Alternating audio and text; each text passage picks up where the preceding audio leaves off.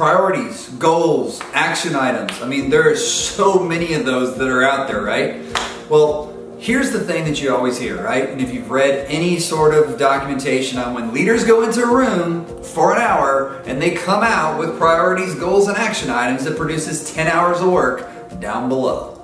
We all know this. We all get in a room, hey, new idea, let's go. But what's the new priority? If I'm gonna go pass something off and say, this is where we're going, this is what we're doing, when you take that new priority and you go to the people that are gonna initiate it, you need to have this conversation. What are your current priorities?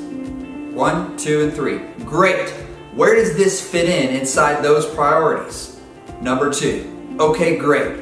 People need clarity on priorities. There's a million of them. I've gone into organizations where they've had 85 priorities, or projects as they call them, and we had to get them down to four or five. But guess what? It helped the people inside the organization be able to focus on what they need to do every day so they can help the priorities of the organization move forward.